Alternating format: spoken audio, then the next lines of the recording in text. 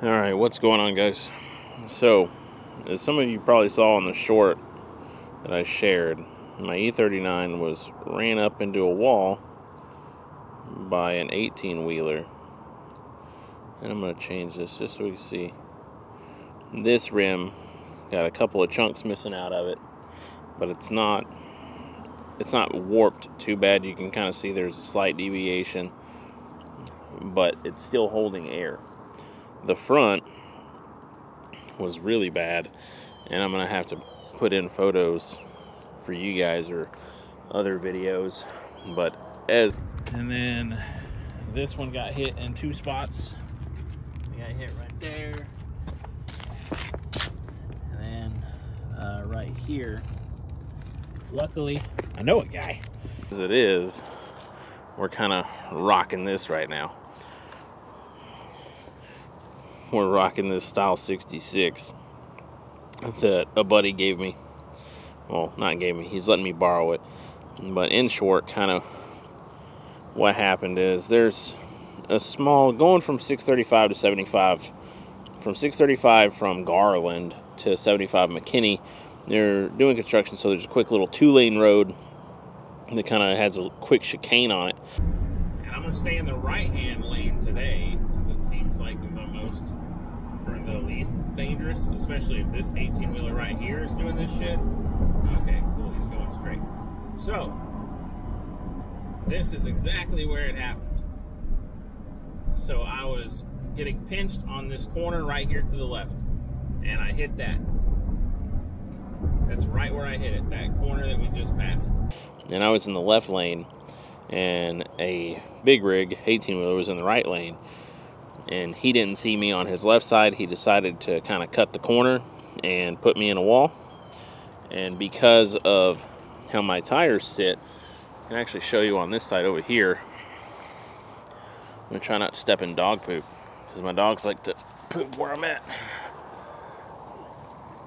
And you can kind of see how my tires sit out compared to the rest of the car. Uh, the wheel caught because it, it pokes out a good solid couple inches from the car. So it was kind of shitty, but is what it is. Could have been worse.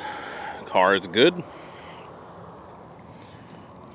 You know, car could have been totaled. I could have I could have overcorrected from bouncing off the wall and get thrown into underneath the trailer. You know, this whole situation could have been worse.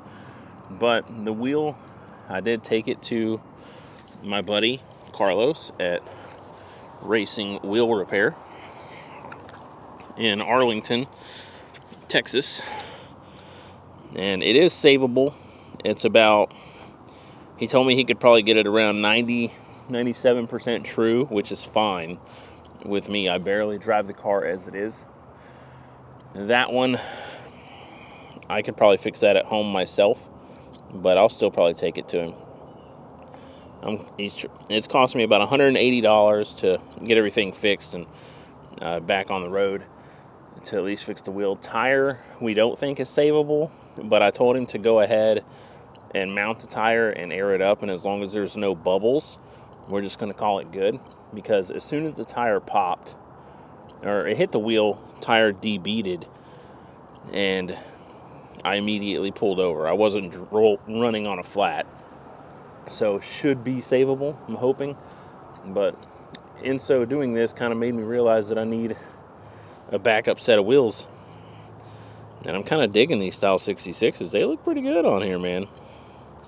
And these are this is a rear right now. This isn't a front. This is a rear. So I think it's like eight and a half wide or something. I'm not sure. But as a whole, that's an update on the car. I'll toss in whenever I get the rim back from Carlos. We'll go ahead and add that in this video too so you guys can see everything all at once.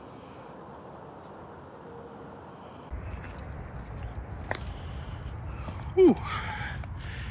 All right. So we're back home with the wheel. As you see, it's fucking round, dude.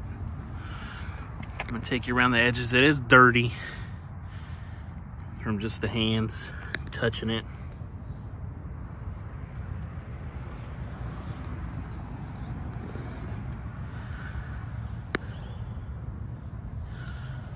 We didn't crack anything on the back, but that's all straight too.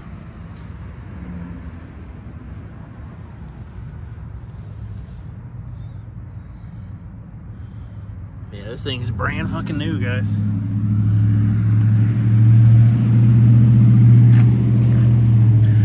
I just got to put it on tomorrow, and we should be okay. Now I just have to. Now I just have to get this one fixed, right here. But yeah, looking pretty fucking good.